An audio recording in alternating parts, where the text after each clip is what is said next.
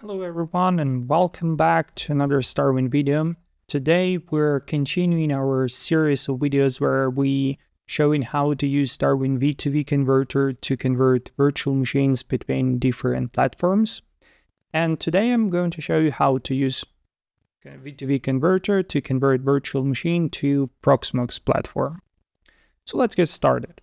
And the first step of the conversion process is making sure that the source virtual machine is powered off. Currently, StarWind V2V converter in the current version, StarWind V2V converter doesn't support so-called hot conversion or the conversion of the powered on VM. So if you didn't power off the VM before starting the conversion, the conversion process will fail and you won't get the expected result. So in my case, I already prepared everything for this video so my VM is already powered off. So let's go to the next step. And the next step is just start the StarWind V2V converter software and select the source platform. In my case, the source platform is VMware cluster. So I'm selecting that option, the VMware option from the list of options that you can see right now on your screen. We're going to the next step. The next step is to put the, um, all of the information about the source platform. I mean, the IP address and the user to connect V2V converter software to the source platform. With the VMware, you have two options to choose from. First option is to point StarWind V2V converter to vCenter server appliance. And then the next step, you will be selecting the server where the virtual machine is sitting or you can put, or you can not put, you can point V2V converter software directly to that server. In my case, for the sake of this video, I will point the V2V converter software to vCenter server appliance, just to show you this option. Let me put the information about my vCenter server appliance. Try and the password. Let me double check one more time that I put everything correctly. Okay, so let's go to the next step. And as you can see, I have a list of all of the servers that are in the cluster. So I need to select the server which has my VM on it. And that's the first server in the list. And as you can see, our virtual machine is powered off one.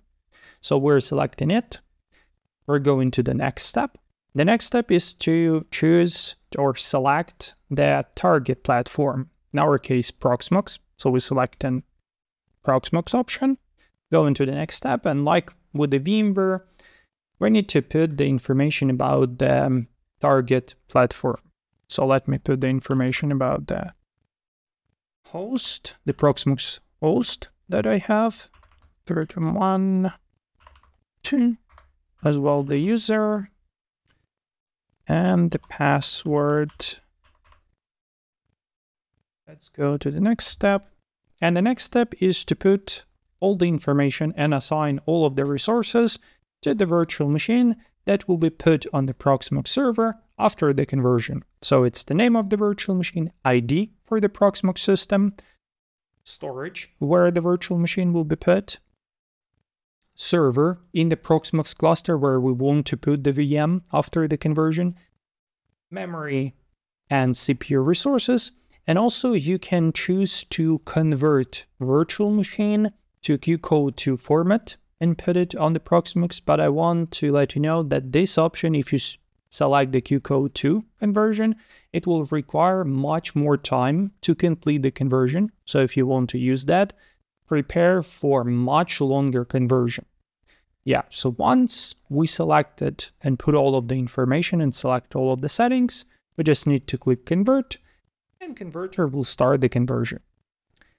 So everyone, that's all of the steps of the conversion of the virtual machine to Proxmox. So thank you for your time, for being with us on this uh, video. Uh, I hope you learned more today about the StarWind V2V converter and in which cases you can use it and now you are more prepared for the different conversions and you know more options for you to convert virtual machine. So yeah, as I always say, take care and I see you next video.